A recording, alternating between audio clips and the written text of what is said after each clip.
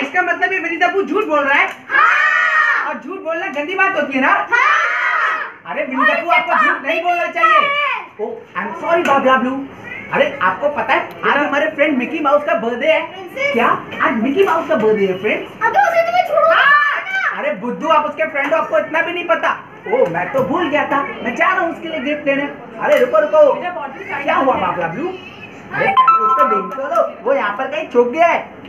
Friends मैं जाता हूँ के साथ मिकी माउस को ढूँढने। Bye bye bye bye bye दोस्तों। Bye bye